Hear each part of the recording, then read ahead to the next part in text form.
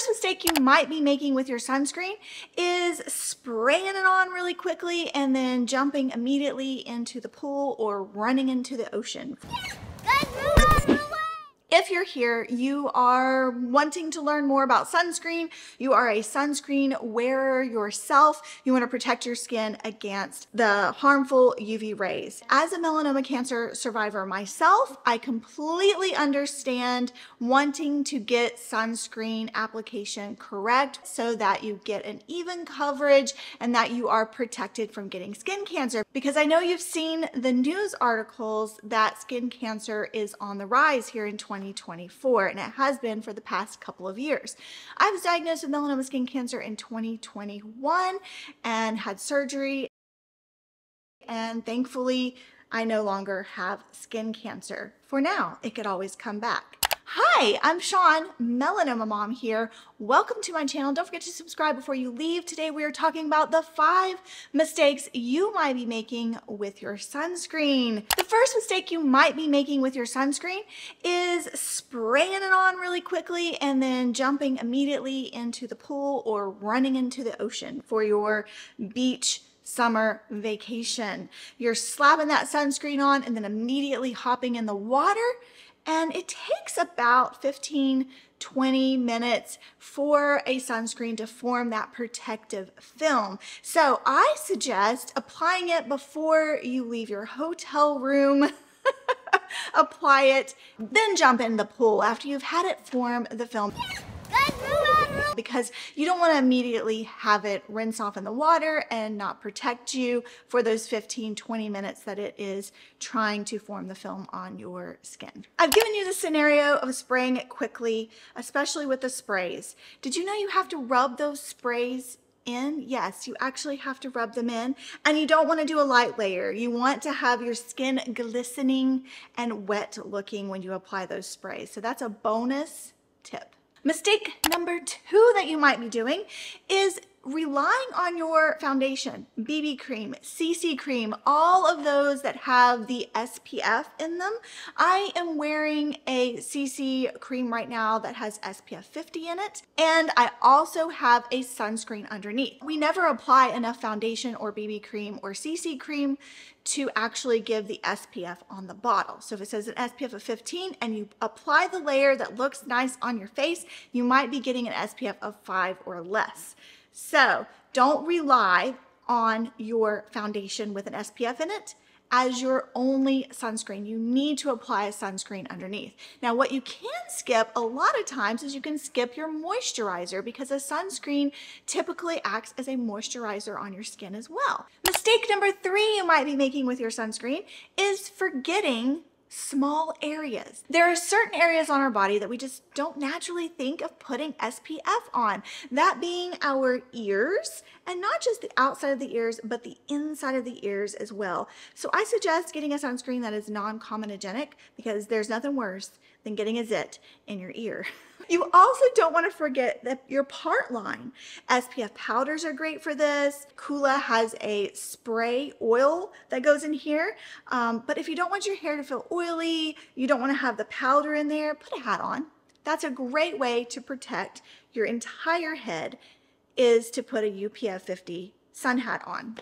Another area you might be forgetting are the backs of your hands. I know when I'm driving prior to having melanoma skin cancer, I was all the time forgetting the backs of my hands. wasn't even thinking about them. And that is one of the areas that shows the most age spots and the aging as we get older. I have some great gloves from Black Girl Sunscreen that I wear.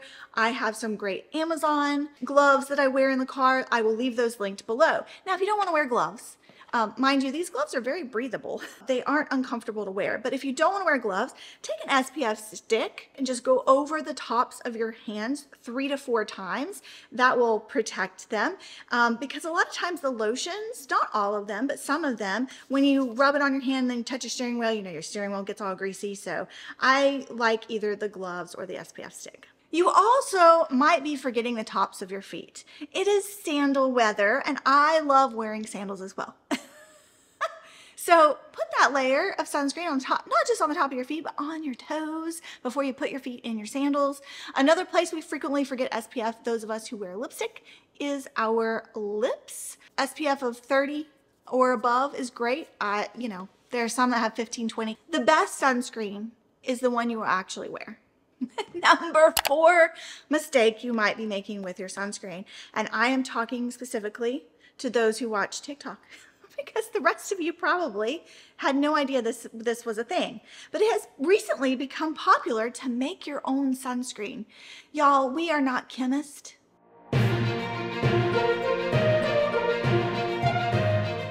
There are very few cosmetic skincare chemists out there who can actually formulate sunscreen. If you don't have the degree, you're not a chemist. We should not be doing this. Sunscreens are formulated very specifically to provide the UVA and the UVB protection. UVA is the rays that cause the aging and the skin cancer, and the UVB are the rays that cause the burning on our skin. I see people on TikTok using just coconut oil, uh, mixing just regular zinc in with it and it clumps up and it doesn't have the spread that it needs to to cover your body. If you don't have the degree, don't do it. And the fifth mistake you might be making with your sunscreen is relying only on sunscreen. I know that sounds crazy, right? You should just be able to put on sunscreen and go out and enjoy your day. I am an advocate for sun protection through more than just sunscreen. There are uh, hats, clothing, UPF 50 clothing, watching the time that you are out. Typically UV is at its highest between 10 and 3. If you have an Apple Watch or your phone, you have the weather app, you can actually look up to see what the UV level is. And I like to avoid those. avoid those times uh, being outside for long periods of time. And if I'm outside during those times, I am fully covered. Hat, long sleeves, long pants, um, not just relying on my sunscreen. And that's coming from experience as someone who has had melanoma skin cancer and been sunburnt many, many, many times. Is it a lifestyle change? Yes. Is it difficult and uncomfortable to be fully clothed in the heat of the day, especially here in South Carolina, where the heat index has been getting up to 96, 98? Uh, it's been very hot. I've been staying indoors, and I am a girl who loves the outdoors. So I'm not saying don't go outside, but be extra, extra protective. Um, another way is supplements. I take HelioCare Advanced, which I haven't done a video on because I'm not positive how well it works. It is a supplement that's supposed to prevent you from getting sunburns, thus minimizing the damage to your skin. You cannot rely on it strictly as your only sun protection.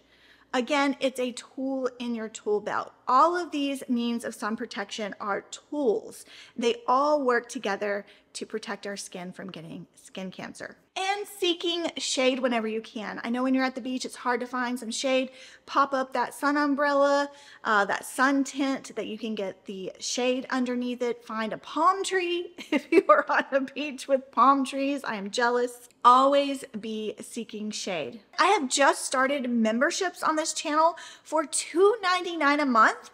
you can become a member of my channel. That will get you extra access, personal access to me. I will have an extra video once a month, at least one extra video. There will be special emojis for my members, special badges, and special community posts that only my members will see. Becoming a member of my channel is a great way to support my mission as a sunscreen and skincare advocate. I would love to have you in my special membership group. There's a video already waiting for you. I'll see you there.